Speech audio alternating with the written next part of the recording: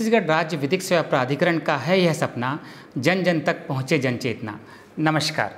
हमारे समाज का कोई भी व्यक्ति, सामाजिक, आर्थिक या राजनीतिक या अन्य किसी कारण से न्याय पाने से वंचित ना हो या कोई भी व्यक्ति अन्य किसी के विधिक अधिकारों का हनन ना कर पाए, इस संकल्प को आत्मसात कर छत्तीसगढ़ राज्य विधिक सेवा प्राधिकरण एवं उसके अंतर्गत समस्त जिला विधिक सेवा प्राधिकरण एवं तालुका विधिक सेवा समिति पूर्ण निष्ठा के साथ सतत प्रयत्नशील हैं। आमजन तक उनके कानूनी अधिकार सुलभ कराने हेतु छत्तीसगढ़ राज्य विधिक सेवा प्राधिकरण द्वारा ई प्लेटफॉर्म पर जन चेतना नाम से एक अनूठी पहल प्रारंभ की गई है, जिसके तहत न्यायाधीश आप सभी के समक्ष कानूनी जानकारी लेकर उपस्थित हो रहे हैं। इसी कड़ी में जिला विधिक सेवा प्राधिकरण जगदलपुर की ओर से मैं, अभिषेक शर्मा, अतिरिक्त जिला एवं सत्र न्यायाधीश एफटीसी, आप सभी के समक्ष भारतीय समाज के ज्वलंत विषय, बाल तस्करी या बाल शोषण के विषय में कानूनी जानकारी देने के लिए आप सभी के समक्ष उपस्थित हुआ हूँ। कहा जाता है कि बच्चे हमारे देश का भविष्य हैं। यह बात सही भी है, किंतु जितनी आसानी से हम इस बात को बोलते हैं क्या हम और आप उतने ही संवेदनशील हैं? हमारे देश के बच्चे, जो कि हमारे भविष्य हैं, इनकी सुरक्षा एवं संरक्षण हेतु? शायद नहीं। क्योंकि यदि आप और हम संवेदनशील होते तो हमारे भारत देश में हर एक मिनट में आठ बच्चे लापता नहीं होते। यह आंकड़ा यह दर्शित करने के लिए पर्याप्त है कि हम अपने बच्चों की सुरक्षा के लिए कितने असंवेदनशील हैं।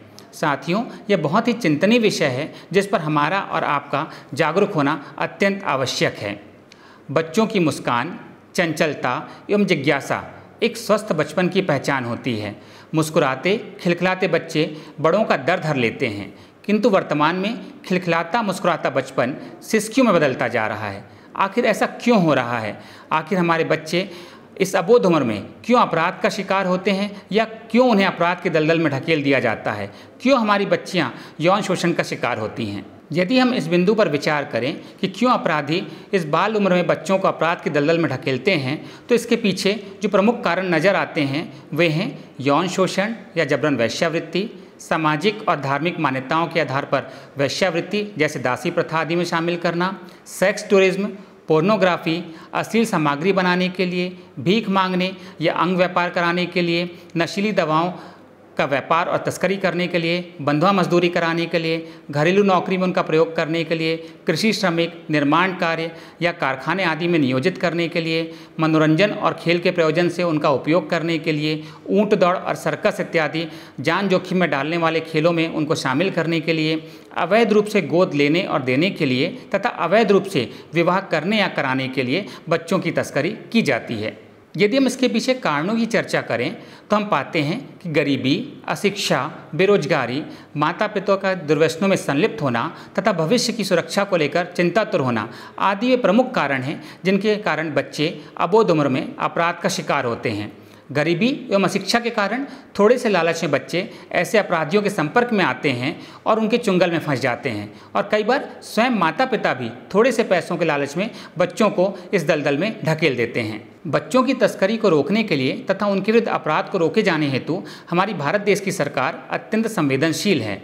भारतीय संविधान के अनुच्छेद 23 में मानव का दुर्व्यापार और बेकार तथा इसी प्रकार अन्य बलाश्रम को प्रतिषिद्ध किया गया है। इसी प्रकार अनुच्छेद 21 का के अंतर्गत 6 से 14 वर्ष के बच्चों की निःशुल्क शिक्षा को उनका मौलिक अधिकार बनाया गया है तथा अनुच्छेद 24 के अंतर्गत 14 वर्ष से कम आयु वर्ग के बच्चों को कारखाने, खान या अन्य परिसंकट में नियोजन में लगाए जाने को या नियोजित किए जाने को प्रतिषिद्ध किया गया है। भारतीय संविधान की मंशा के अनुरूप भारतीय दंड संहिता 1860 की धारा तीन से तीन सौ चौहत्तर तक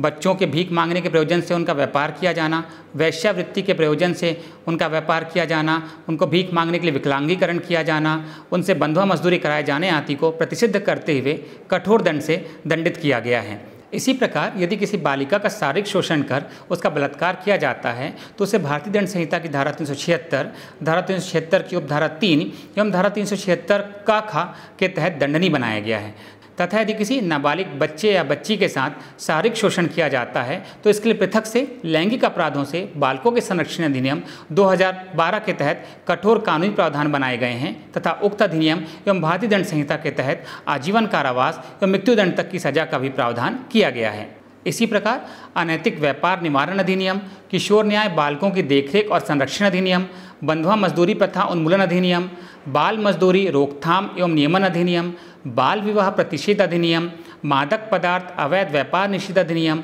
अनुसूचित जाति एवं जनजाति अत्याचार निवारण अधिनियम, मानव अंग प्रत्यारोपण अधिनियम छत्तीसगढ़ निजी नियोजन अभिकरण विनियमन अधिनियम ऐसे कुछ महत्वपूर्ण अधिनियम एवं कानून हैं, जिनके तहत हमारी सरकार बच्चों के विरुद्ध होने वाले अपराधों को रोकने के लिए तथा ऐसे अपराध से सताए हुए बच्चों के संरक्षण, उनके पुनर्वास तथा ऐसे बच्चों के साथ कारित करने वाले अपराधियों को कठोर दंड से दंडित करने के लिए कानून बनाए हैं। राज्य विधिक सेवा प्राधिकरण बालकों के संरक्षण एवं संवर्धन हेतु निरंतर प्रयत्नशील है। तथा हमारे देश की न्यायालय भी इस विषय में बहुत ही संवेदनशील हैं। माननीय सर्वोच्च न्यायालय द्वारा बचपन बचाओ आंदोलन विरुद्ध भारत संघ के प्रकरण में तथा इसी प्रकार माननीय छत्तीसगढ़ उच्च न्यायालय द्वारा स्वमेव संज्ञान लेते हुए in the matter of justice for 355 missing person in Bilaspur विरुद्ध छत्तीसगढ़ राज्य के मामले में जनहित याचिका के माध्यम से राज्य शासन एवं पुलिस प्रशासन को विस्तृत दिशा निर्देश जारी किए गए हैं तथा राज्य विधिक सेवा प्राधिकरण द्वारा सतत इसका पर्यवेक्षण किया जा रहा है। उक्त दिशा निर्देशों के अनुरूप पुलिस प्रशासन द्वारा ऑपरेशन मुस्कान एवं तलाश के तहत गुमशुदा बच्चों को ढूँढने तथा लवारिस बच्चों को उनके परिवार से मिलाने एवं उनके बचाव तथा उनके पुनर्वास हेतु तो लगातार कार्य किया जा रहा है तथा उनके विरुद्ध होने वाले अपराधों को रोकने के लिए प्रयास किया जा रहा है तथा इससे संबंधित संपूर्ण जानकारी खोया पाया वेब पोर्टल में इंदराज की जाती है तथा इसके लिए समय समय पर हमारे छत्तीसगढ़ राज्य विधिक सेवा प्राधिकरण द्वारा प्रशिक्षित पैरालीगल वॉलंटियर भी सहायता हेतु उपलब्ध रहते हैं तथा लोगों को जागरूक करने का प्रयास करते हैं। विधिक सेवा प्राधिकरण द्वारा स्कूली छात्र छात्राओं को तथा उनके अभिभावकों को उनकी सुरक्षा हेतु जागरूक करने के लिए गुड टच, बैड टच आदि संवेदनशील विषयों पर विधिक साक्षरता शिविर एवं शॉर्ट फ़िल्म के माध्यम से लगातार जागरूक करने का प्रयास कर रही हैं। हमारी सरकार एवं राज्य विधिक सेवा प्राधिकरण इस दिशा में सतत संवेदनशील होकर कार्य कर रही है। बस आवश्यकता है हम सभी की थोड़ी सी सजगता, सतर्कता एवं जागरूकता की। हमें अपने बच्चों को ऐसा माहौल उपलब्ध कराना है जिससे वे सुरक्षित महसूस कर सकें तथा हमें उन्हें अच्छे एवं बुरे का ज्ञान कराना है और तथा उन्हें प्यार से इस बात का आभास कराना है कि यदि उनके साथ कुछ भी गलत होता है तो तुरंत अपने माता पिता को या गुरुजनों को इसकी जानकारी दें तथा ऐसी घटनाओं को छिपाए नहीं। क्योंकि यदि ऐसी घटनाओं को छिपाया जाता है तो भविष्य में बुरे परिणाम सामने ला सकती हैं। हम सभी की थोड़ी सी सजगता एवं जागरूकता हमारे बच्चों के साथ होने वाले अपराधों को रोकने एवं उन्हें सुरक्षित जीवन प्रदान करने में महती भूमिका अदा कर सकती है। यदि हमारे आसपास ऐसी कोई भी घटनाएँ होती हैं या आपको अपने आसपास ऐसा कोई भी बच्चा नज़र आता है जिसको देखकर यह लगता है कि वह किसी अपराध से ग्रसित हुआ है या उसके साथ कोई आपराधिक कार्य किया गया है तो आप तत्काल इसकी सूचना अपने निकटस्थ थाने में दीजिए। यदि आप किसी कारण से थाने नहीं जाना चाहते हैं तो हमारे राष्ट्रीय विधिक सेवा प्राधिकरण के टोल फ्री नंबर एक पाँच एक शून्य शून्य, मैं फिर से बोलूँगा,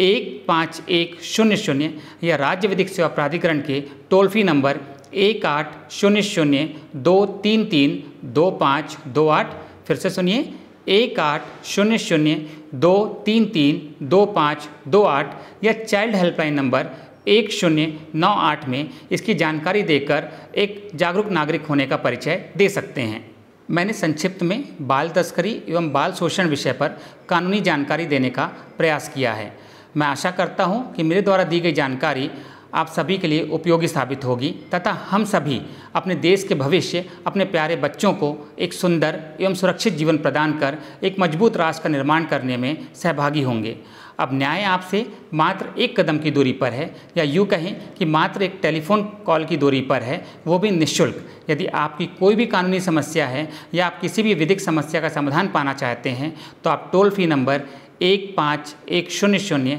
या एक आठ शून्य शून्य दो तीन तीन दो पाँच दो आठ में कॉल करके निशुल्क में अपनी समस्याओं का समाधान कर सकते हैं। आप सभी ने मुझे धैर्य से सुना, इसके लिए मैं आप सभी का हृदय से आभारी हूँ एवं धन्यवाद ज्ञापित करता हूँ। जय हिंद, जय छत्तीसगढ़, जय जोहार।